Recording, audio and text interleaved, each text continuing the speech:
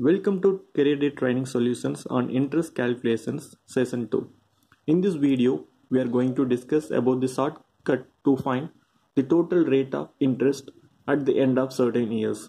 So here I provided you an example. You borrow 10 lakh rupee from the bank, so which is principal and the rate of interest is 3 percentage and the number of years is 3 years. Let us check how this part work both on simple and compound interest. So in simple interest, you don't need to use any formulas. So it's quite simple. Now here it is given 3 percentage per annum. So 3 percentage per annum means for one year you have to pay 3 percentage. For 3 years you have to pay 3 into 3 percentage. So 3 into 3 percentage give you 9 percentage as the overall interest at the end of 3 years. So 9 percentage of 10 lakh is 90,000 rupees. So simple interest is quite simple, right? So you have to multiply the total percentage. So it means the three uh, number of percentage per annum with the total number of years. So that gives you the total interest that you have to settle at the end of given years. So in simple interest, it is 9 percentage.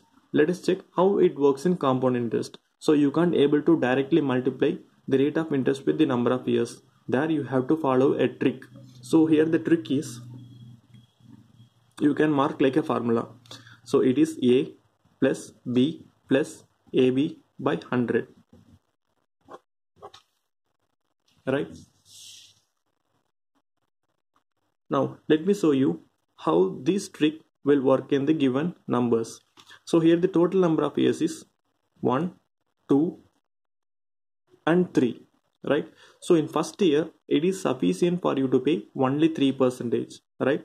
So you have to pay only 3 percentage now you haven't paid this 3 percentage. Now moving to second year you have to pay the first year 3 percentage right? Plus second year also you will get another 3 percentage right? Plus for the previous year 3 percentage pending amount you have to pay another 3 percentage right?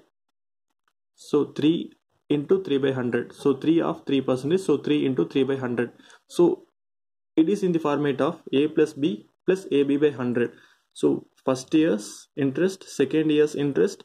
So first year's interest into second year's interest right? So a plus b plus ab by 100 so solving this you are getting how much? 3 plus 3 6 plus 3 into 3 by 100 0.09 so it is 6.09 percentage.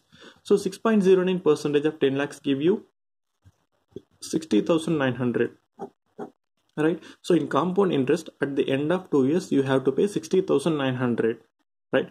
But you are not settling the 60900 at the end of two years. So you are planning to settle the complete amount at the end of three years. So in third year the pending amount is 6.09 percentage plus third year also you will get a, another 3 percentage. So plus 3 percentage plus for the previous year 6.09 percentage. This year you have to pay another 3 percentage. So 6.09 into 3 by 100 so solving this you will get 6.09 plus 3 9.09 plus 6.09 into 3 give you 18.27 by 100 so solving this you will get 9.2727 percentage. So totally at the end of 3 years you have to pay 9.2727 percentages compound interest. So 9.2727 percentage of 10 lakh is how much you have to pay 92,727 as compound interest at the end of 3 years. So this is the total compound interest that you have to settle at the end of 3 years. So if you are planning to settle the interest as well as principal at the end of first year, you have to pay only 3 percentage of the principal you borrowed. So which is 30,000 rupees. At the end of second year, you have to totally pay 60,900. If you are not paying at the end of first year and second year, you have to totally pay 92,727 at the end of 3 years. I hope you understood how this interest calculation works in the compound interest, right? So in upcoming videos, I will show you how to easily calculate the compound interest and total amount. I hope you enjoy the session. So if you haven't subscribed my channel, so please subscribe. If you like the video, click the like button and share it to your friends. If you hold any doubts, please comment it below. Thank you. Have a nice day.